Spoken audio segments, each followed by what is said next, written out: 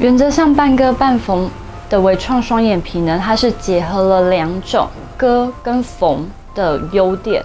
那它的恢复期当然比割双眼皮来的短，肿胀时间也会比较少，那痕迹也会比较不明显。